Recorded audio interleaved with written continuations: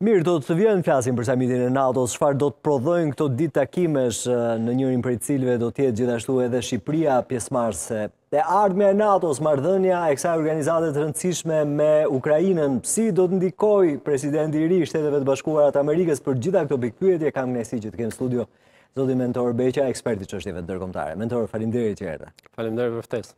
Leci. Mirë, në nisje të samitit, pyetja ime vjen natyrshëm. A ka të ardhme NATO duke marrë parasysh edhe zhvillimet më të fundit deklaratat pse jo të presidentit Trump, sjelljen që do të ketë ai nëse do të vijë në pushtet? Uh, Natyrisht që përgjigja do duhet të ndahet në dy aspekte. Aspekti mm. normativ, pra ajo që ne duam të ndodhë me NATO-n dhe aspekti uh, realist i çështjes. Unë besoj, uh, duke i dhënë përgjigje Pjesës së dytë. Unë besoj që NATO natyrisht që do i mbijetojë çfarëdo lloj sfide në afatshkurtër. Është tjetër analizë në afat mm. gjatë. Dhe kur flas për sfidën më të rëndësishme në afatshkurtër është natyrisht rikthimi i president Trump në mandatin e dytë në Shtetet e Bashkuara të Amerikës.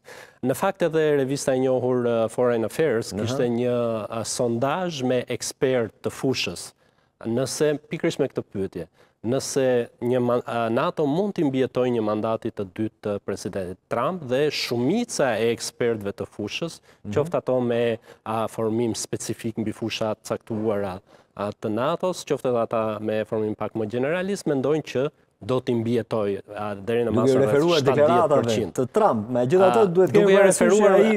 Duke iu referuar qasjes që ka presidenti Trump ndaj, ndaj NATO-s, sjelljes që ka demonstruar në mandatin e parë, parë.